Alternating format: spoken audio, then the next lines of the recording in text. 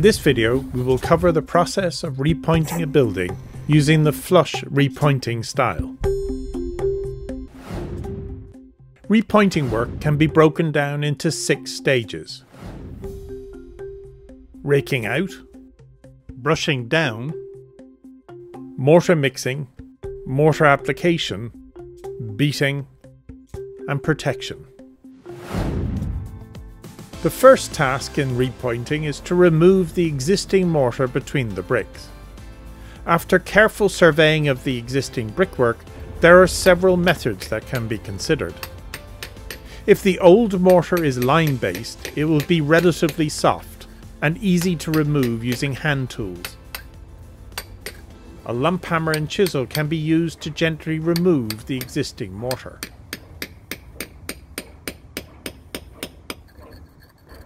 If the existing mortar is cement and hard, it may require the use of a grinder to cut through the centre of the joint and loosen the mortar. As you can see, dust control is an issue with grinders and will require adequate PPE to protect the eyes and RPE to prevent dust inhalation. To avoid dust, a vacuum can be attached to the grinder such as shown here.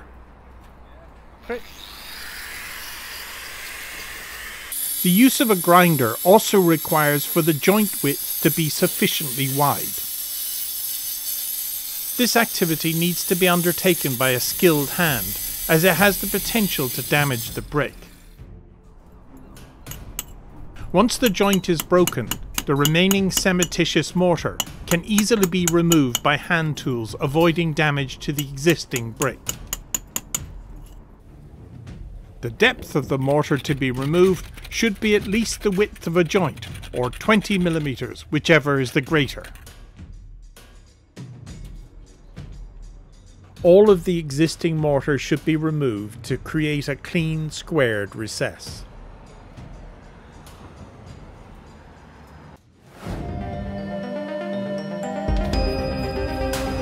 The joints will need all dust and debris removed and this can be adequately achieved using a handheld brush or by gently rinsing down.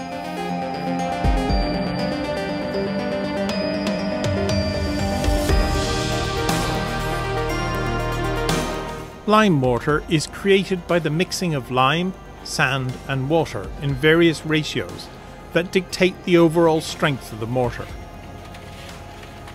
Here we see mortar being mixed using a forced action mixer.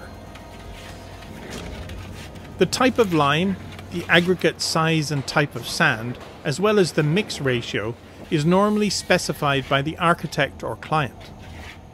For brick pointing, it is common to use a natural hydraulic lime, a well graded sand, and a mix ratio of 1 part lime to 2.5 parts sharp sand. It is important to develop a standardized method of mixing on site to ensure a consistent finish, as to do otherwise may result in variations on the facade.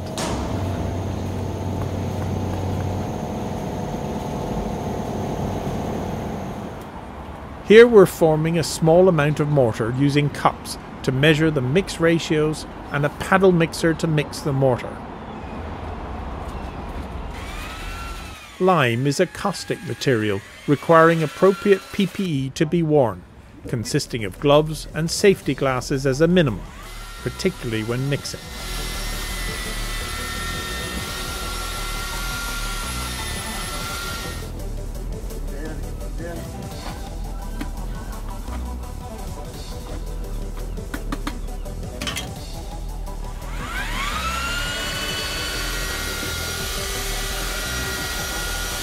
Lime mortar should be mixed sufficiently to create a stiff plastic mortar that can be lifted off the hawk with a flat jointer.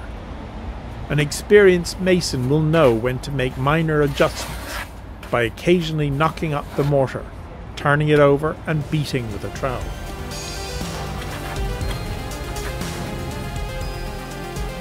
Before the application of mortar, all the joints should be clean and wetted down to help the mortar adhere to the brick. Mortar is then applied using a flat jointer and a hawk. Other names for jointers include flat bar jointers, flat irons, jointing irons, and finger trowels. Hawks consist of a flat top and handle, which can be made of wood, plastic, or metal. For horizontal joints, hold the edge of a hawk close to the wall to enable the mortar to be pushed into the joint, taking care not to stain the brick. Fill the joints completely or slightly more than full, leaving no holes, cracks, or depressions in the mortar joints. With flush pointing, the inserted mortar is left slightly proud of the surface, allowing for the excess to be removed when it is beaten back.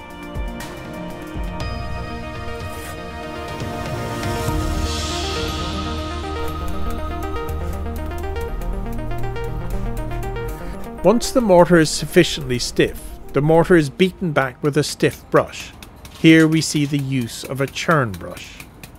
Beating the lime mortar closes any minor shrinkage cracks, increases the surface area to aid the setting process, and also creates a fine exposed aggregate finish. The time between the application of mortar and beating varies with the lime used the porosity of the brick or stone, and the weather. This can be a matter of hours or possibly days in cool weather.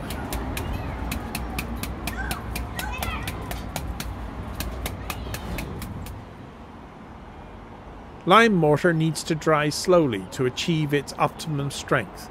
Usually the protection is given by draping Hessian cloth over it and we'll cover it with hessian to keep the sun off it. We keep the, the dry winds off it. Because if it dries out too fast it cracks. You know so this is why this is why we'll protect this. That's the most important thing with lime. You need to protect it.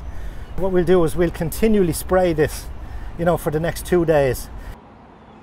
During the hot summer months dampening the hessian can help slow down the drying process. In the winter months the hessian simply helps protect the new mortar from frost attack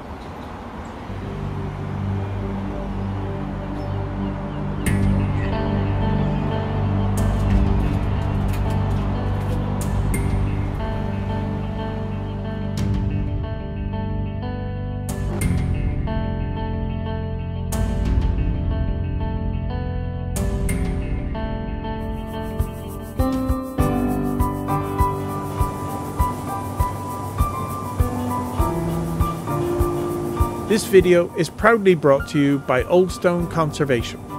For further information, please visit our website or take time to view our other videos in our advice series.